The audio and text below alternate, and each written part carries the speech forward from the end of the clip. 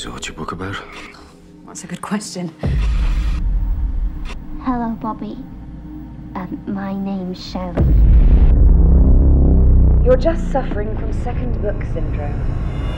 Do you still use that old manual typewriter of yours? I thought computers were getting smaller. You know that technology is an addiction.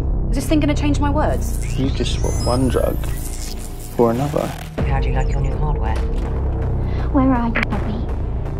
Think we could do great things together. You don't sleep well, Miss Johnson. Most writers don't. Your machine is censoring my work. We love what we've read so far. How would you know? You're the surveillance generation, Bobby.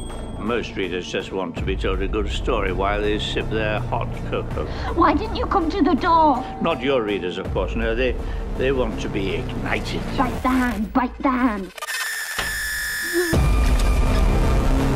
I've got a new job for you. I don't do assignments. Finish the book, Bobby. Your words are out there now, carved into all of us.